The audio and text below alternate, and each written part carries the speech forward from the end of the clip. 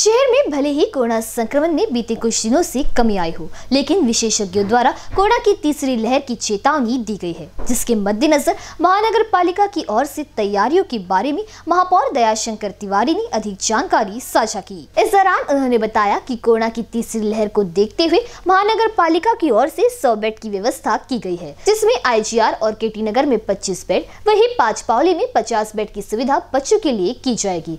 साथ ही उन्होंने इस दौरान म्यूक्रोमाइसिस के संबंध में उन्होंने महानगर पालिका की ओर से आने वाले कुछ दिनों में कुछ जगहों पर स्क्रीनिंग सेंटर यानी पोस्ट कोविड सेंटर का निर्माण किया जाएगा ये भी जानकारी दी। कॉर्पोरेशनने शंभर बेडची व्यवस्था मुलांसाठी करण्याचं नियोजन केलेलं आहे. त्याच्यात आय जी आरमध्ये करण्याचा विशेष आहे पाचपावलीमध्ये करण्याचा आहे आणि के टी नगरमध्ये के टी नगरमध्ये पंचवीस बेड पाचपावलीमध्ये पन पन्नास बेड आणि आय जी आरमध्ये पंचवीस बेड असे शंभर बेडच्या करण्याचा निर्धार केला होता. नुकताच परवा माननीय विरोधी पक्षनेते पूर्व मुख्यमंत्री देवेंद्रजी आले होते. त्यांनी सांगितलं की वेगवेगळ्या ठिकाणी केलं तर तेवढा मॅनपॉवर जास्त लागेल. एकच छताखाली जर आपण सगळ्यांची व्यवस्था केली तर कमी मॅनपॉवरने आपल्याला मॅनेजमेंट करता येईल. या दृष्टीने स्वयं जीव जिम्मेदारी त्यांनी घेतली की नॅ कॅन्सर नॅशनल कॅन्सर इन्स्टिट्यूटच्या माध्यमातून त्यांनी दोनशे बेडच्या हॉस्पिटल उभारण्यासाठी सर्वकस मदत करण्याचा त्यांनी निर्धार घेतला आहे. माननीय आयुक्त महोदयांनी परवा जाऊन युनिव्हर्सिटी कॅम्पसमध्ये जे त्यांची नवीन ॲडमिनिस्ट्रेटिव्ह बिल्डिंग आहे ते पाहून आलेले आहे. त्याच्यासोबतच अग्रसेन भवन जे रवी भवनचं ते सुद्धा पाहून आलेलं आहे.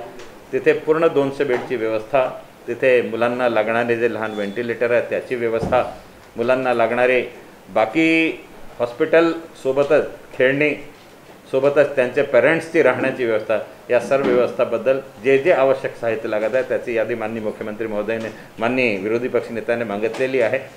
सोमवारी महानगरपालिकेच्या माध्यमातून त्यांना आम्ही हे सर्व देणार आहोत. येता एक महिन्यात सव्वा महिन्यात ती लाट येण्याच्या पूर्वी तो हॉस्पिटल तयार झाला पाहिजे असा महानगरपालिकेच्या मानस आम्ही करणार आहोत.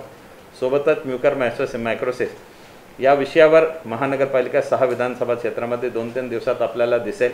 की आम्ही एक स्क्रीनिंग सेंटर उघडत आहोत ज्याला पोस्ट कोविड सेंटर म्हणून आम्ही ओळखला ओळखला जाणार आहोत. फक्त म्युकरच नाही नाही आणि काळा फंगसच नाही. याशिवाय अनेक व्याधी लोकांमध्ये आफ्टर करोना येत आहे. तर त्या सर्व व्याधींची जाणकारी तिथं दिली जाईल. महानगरपालिका त्याच्यासाठी एक्सरसाइज करत आहे. एक महिन्यानंतर हा आजार करोनापासून चांगला झाल्यानंतर होते. म्हणून एप्रिल ते मेपासून जेवढे करोना पॉझिटिव्ह पेशंट होते जे जहा दहा दिवसापेक्षा जास्त ॲडमिट होते ज्यांना इस्टेरॉईड देण्यात आलेला आहे यांची यादी काढून त्यांचे नंबर घेऊन जवळपास असे पेशंटची संख्या तीस ते पस्तीस हजार आहे. त्या सगळ्यांची यादी काढून झोन निहाय त्यांना वैयक्तिक फोनच्या माध्यमातून त्यांना फोन करून महानगरपालिका त्यांना काउन्सिलिंग सेंटरपर्यंत बोलावणार आहे त्यांचे चेकिंग करणार आहे. तिथे पोस्ट कोविडसोबतच म्युकरमॅक्सिसच्या दृष्टीने तिथे एक डेंटिस्ट राहणार आहे तो त्यांच्या ओरल स्क्रीनिंग करणार आहे. ई एन टीवाला राहणार आहे तो त्यांची नाक कान घसाची तपासणी करणार आहे.